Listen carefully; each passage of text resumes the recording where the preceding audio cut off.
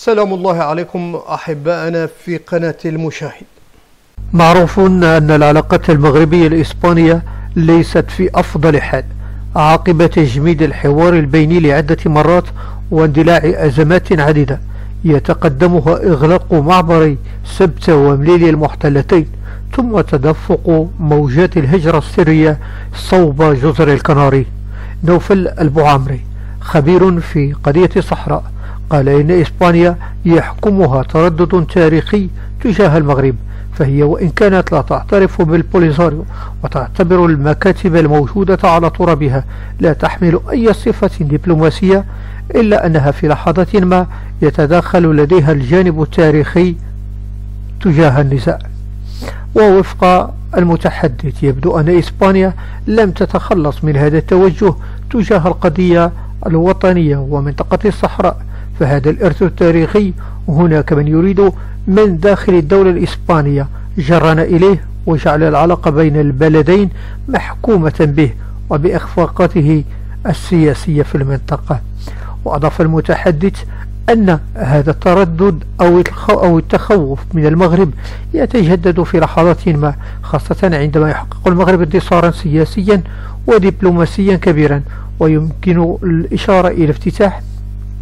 قنصلية أمريكية في الداخلة والاعتراف الأمريكي بمغربية الصحراء وافتتاح قنصليات بلدان عربية وإفريقية صديقة وشقيقة وغيرها من الخطوات. أهمها ترسيم حدود المياه الإقليمية جهة المحيط الأطلسي بالأقاليم الصحراوية باعتبارها مياه تابعة للحدود البحرية المغربية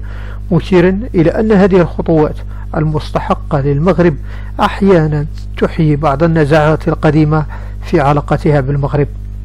واعتبر البوعمري أن المغرب في جل الأزمات التي عاشتها إسبانيا خاصة في مواجهة الانفصال كان له موقف واضح تجاه دعمه لوحدة إسبانيا وتعاطى تعاطيا أخلاقيا مع الموضوع ولم يقم باستغلال ضعف إسبانيا أنذاك تجاه منطقة كاتالونيا لابتزازها.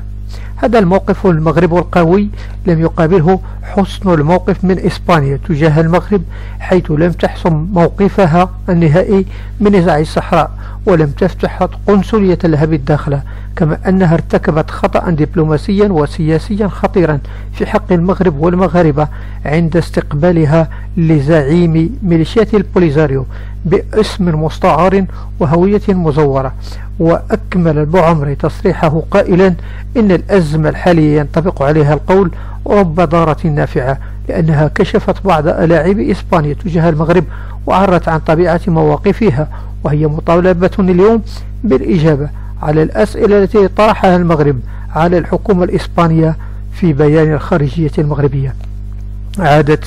من جديد أو من جهة ثانية أعادت الصحراوية خديجة محمود لنشر فيديو جديد تطالب من خلاله السلطات الإسبانية باعتقال زعيم البوليزاريو إبراهيم غالي المتواجد حاليا على أراضيها بتهمة اغتصابها بالقوة سنة 2010 حيث سبق لها أن خرجت بوجه مكشوف بعد مضي سبع سنوات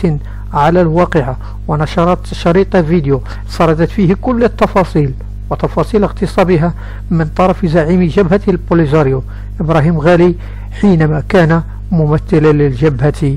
بالجزائر. وبعد السفر السري لإبراهيم غالي ومرضه زعيم الجبهة في تندوف دخل زعيم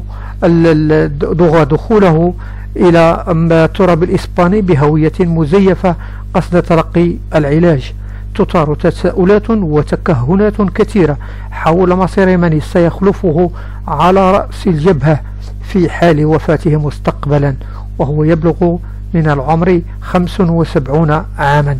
ويؤشر في الوضع الصحي لكبير البوليزاريو بقلق آه، نظام العسكر في الجار الجزائر. تستعد ثلة من الجنرالات منذ مدة لإيجاد خليفة, خليفة لإبراهيم غالي وذلك بترتيب سفير الجبهة في العاصمة الجزائر المدعو عمر الطالب عمر. لخلافته. ودأب النظام الجزائري على تقريب من يراه مناسبا ليتدرب على طرق القيادة العسكرية والسياسية بتعيينه سفيرا للبولي للبوليزاريو في قصر المرداية بالجزائر وهو نوع من تحكم نظام العسكر الجزائري في مقاليد تسيير المحتجزين في مخيمات تندوف.